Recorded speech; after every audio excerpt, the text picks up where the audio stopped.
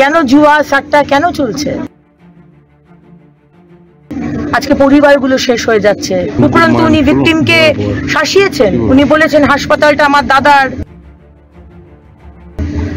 দেখে নেব তুই কেমন করে বেঁচে ফিরে আসিস। এনটিপিএস থানা তোদের জন্য কিছু করবে না আমরা পঞ্চাশ হাজার টাকা করে মাসে দিই। কোনো জুয়ার ঠেক আমাদের ঠিক বন্ধ হবে না। যে তোর স্বামীর চাকরিটা ফেরত পাবি আমার সাথে সহবাস করলে বা আমার সাথে সহবাস করলে বা রাত্রিবাস করলে এই অধিকার কিন্তু ভারতবর্ষের সংবিধান দেয়নি। অগ্নিমিত্রা পালের সার্টিফিকেট তো আমার দরকার নেই।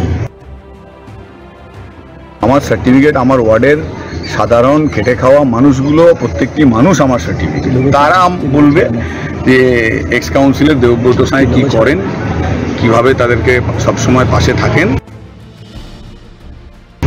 অগ্নিমিত্রা পালকে বলার দরকার নেই। দেবব্রত সাঁকে একেবারে ধুইয়ে দিয়ে গেলেন অগ্নিমিত্রা পাল।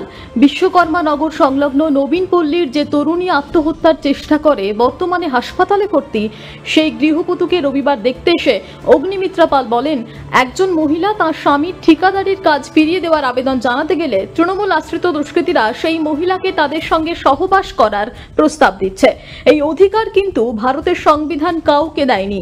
ওই মহিলা এলাকার প্রাক্তন পুরপিতা দেবব্রত সাইয়ের কাছে সাহায্যের জন্য গিয়েছিলেন।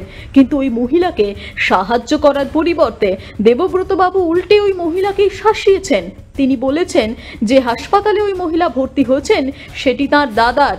সেখান থেকে কীভাবে তিনি বেঁচে ফিরে আসেন, তা তিনি দেখবেন। এনটিপিএস থানা কোনো কিছুই করবে না, কারণ প্রতি মাসে থানাকে পঞ্চাশ হাজার টাকা করে দেওয়া হয়। তাই অবৈধ মদ, জুয়া, সাতটা কোনোটাই বন্ধ হবে না বলে দেবব্রত সাঁই হুমকি দিয়েছেন বলে দাবি করেন অগ্নিমিত্রা দেবী। বিধায়িকার অভিযোগ, এই এলাকায় রমরমিয়ে চলছে মদ, জুয়া, সাতটা সহ যাবতীয় অবৈধ কারবার। পুরুষরা মদ খেয়ে, জুয়া খেলে সর্বশান্ত হয়ে যাচ্ছেন। মদ্যপ অবস্থায় তারা বাড়ি ফিরে তাদের স্ত্রীদের মারধর করেন। যারা এই ধরনের অপরাধমূলক কাজের প্রতিবাদ করেছেন, তারা আজ নিরাপত্তাহীনতায় ভুগছেন। উল্লেখ্য প্রায় দুই দশকেরও বেশি সময় আগে বিশ্বকর্মা নগর এলাকার অর্থনৈতিক লাইফ লাইফলাইনটাই বন্ধ হয়ে গেছে। Mining and allied machinery corporation বা এমএমসি কারখানা বন্ধ হয়ে যাবার পর থেকে। ফলে এই এলাকার বিশেষত প্রান্তিক শ্রেণির মানুষদের একটা বড় অংশই ঝুঁকে পড়েন অবৈধ মদ, জুয়া সাতটা কারখানার যন্ত্রাংশ চুরি সহ নানান অসামাজিক কাজকর্মের সঙ্গে। বাম আমল থেকেই এই তেইশ চব্বিশ নম্বর ওয়ার্ডে শুরু হয় ঢালাও মদের অবৈধ কারবার। কুখ্যাত ছাট মাল কারবারিদের স্বর্গরাজ্য হয়ে ওঠে এই এলাকা। একসময় এলাকার বাম নেতৃত্বের প্রত্যক্ষ মদত পেত এইসব অপরাধীরা। বর্তমানে প্রায় শাসক তৃণমূল নেতাদের সব স্নেহ আশীর্বাদ। এই এলাকার এক কুখ্যাত লোহা কারবারের সঙ্গে এলাকার ওজনদার তৃণমূল নেতাদের দহরম মহরমের খবর প্রতিটি মানুষই জানেন। প্রতি মাসে বিপুল পরিমাণ মাসহারার বিনিময়ে পুলিশও ওই মাফিয়াদের কেশাগ্র স্পর্শ করে না। বছরের পর বছর ধরে চলতে থাকে এই চরম অরাজ্যকতা বলে স্থানীয়দের অভিযোগ। একসময় সিপিআইএমের হয়ে গুন্ডামি করা অনেকেই জামা পাল্টে এখন তৃণমূলের প্রথম সারির নেতা হয়েছেন। বাম আমলেও যেমন ছিল এরা এলাকার ত্রাস। বর্তমানে শাসক দলের ছত্রছায়া থেকে এখনও তারা এলাকার ত্রাসই রয়ে গেছে। আর এদের ভরসাতেই ভোটে জেতার স্বপ্ন দেখছেন কেউ কেউ। যারা পুরো শহরটাকেই মনে করছেন তাদের পৈতৃক সম্পত্তি। হয়তো তারা ভুলে গেছেন। নগর নিগমের তেতাল্লিশটা ওয়ার্ডের মধ্যে তেত্রিশটা ওয়ার্ডেই কিন্তু বিপুল ভোটে পিছিয়ে আছে শাসক দল। আজ না হোক কাল নগর নিগমের নির্বাচন করাতেই হবে সরকারকে। তখন এই ঘটনাগুলোই ভোট বাক্সে বুমেরাং হয়ে যাবে না তো? গ্রেপ্তার করা হয়েছে। বাকি দুজন যাদের এফআইআর এর নাম আছে তাদেরকে এখনও গ্রেপ্তার করা হয়নি। তারা খুব ইমিডিয়েটলি গ্রেপ্তার করবে। এবং এই মানুষগুলো যারা গ্রাম থেকে আমাদের মানে যেখান থেকে এসেছে পাড়া থেকে যাদের উপর অত্যাচার হয়েছে তারা অত্যন্ত ইনসিকিউর তাদের উপর যে কোনো সময় হামলা হতে পারে সেই বিষয়টিও পুলিশ দেখে নিচ্ছে। হাত তো রয়েছে কারণ এক্স কাউন্সিলর দেবু সাঁই আমি বলছি না যে ভিকটিম যে হাসপাতালে ভর্তি সে তো বারবার দেবু সাঁয়ের নাম করছে। এবং এই মেয়েগুলোই তারাও বারবার দেবু সাঁয়ের কাছে গেছে সাহায্য চেয়েছে কিন্তু উনি কোনো সাহায্য করেননি। আজকে কেন মদের ঠেক চলছে? কেন জুয়া সাট্টা কেন চলছে? আজকে পরিবারগুলো শেষ হয়ে যাচ্ছে।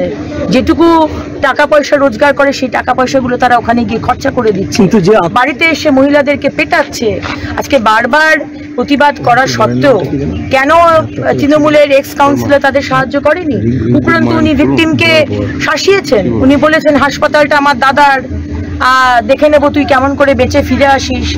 এনটিপিএস থানা তোদের জন্য কিছু করবে না। আমরা পঞ্চাশ হাজার টাকা করে মাসে দিই। কোনো জুয়ার ঠেক, আমাদের ঠিক বন্ধ হবে না। এইসব কথাগুলো একজন এক্স কাউন্সিলর যদি বলে, খুব দুঃখজনক। কিন্তু সে তৃণমূলই করুক, কি বিজেপি করুক, কি যে কোনো দল করুক, কোনো মহিলাকে তাকে এই প্রস্তাব দেওয়া, কুপ্রস্তাব যে তোর স্বামীর চাকরিটা ফেরত পাবি, আমার সাথে সহবাস করলে বা রাত্রিবাস করলে, এই অধিকার কিন্তু ভারতবর্ষের সংবিধান দেয়নি। তাই আমরা প্রতিবাদ করতে এসেছি। আমরা কারোর ক্যারেক্টার অ্যাসোসিয়েশন করতে আসিনি। মিত্রা পালের সার্টিফিকেট তো আমার দরকার নেই। আমার সার্টিফিকেট আমার ওয়ার্ডের সাধারণ খেটে খাওয়া মানুষগুলো, প্রত্যেকটি মানুষ আমার সার্টিফিকেট তারা বলবে যে এক্স কাউন্সিলের দেবব্রত সাঁই কী করেন? কীভাবে তাদেরকে সবসময় পাশে থাকেন, এটা অগ্নিমিত্রা পালকে বলার দরকার নেই। আর অগ্নিমিত্রা পাল যেভাবে বাংলার নাম ভারতবর্ষের বুকে অপমানিত করছেন, যেভাবে বাংলার মহিলাদেরকে উনি অসম্মান করছেন বারংবার এবং তার ফল কিছুদিন আগে ওনারা পেয়েছেন। বাংলার মানুষ তো মুখের ওপর জবাব দিয়েছে। আমি কি জবাব দেবো? আমি সাধারণ মানুষের সঙ্গে থাকি, মানুষ ভালোবাসে, তার জন্য ওয়ার্ডে যথেষ্ট উন্নয়ন পশ্চিমবঙ্গের সরকার এডিডিএ এবং কর্পোরেশন মিলে যা উন্নয়ন হয়েছে, সেখানকার মানুষ জানে, আমি উন্নয়ন বুঝি। এই সমস্ত অগ্নিমিত্রা পাল্টালকে আমরা পাত্তা দিই না, তার কারণটা হচ্ছে ওনারা এই রাজনীতিগুলোই করেন। এই ধরনের রাজনীতি করা বাংলার বিভিন্ন কোনায় কোনায় ছোট ছোট পাড়ার যে ঝামেলা সেগুলোকে নিয়ে একটা বড় ইস্যু তৈরি করে তারা এসে তাদের মুখ দেখাতে যান।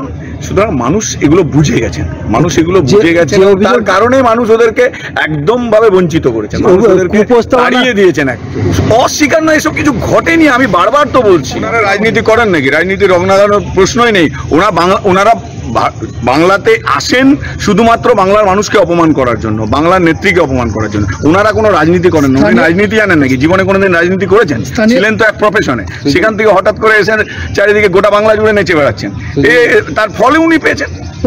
কদিন আগে ফল। পেয়েছেন।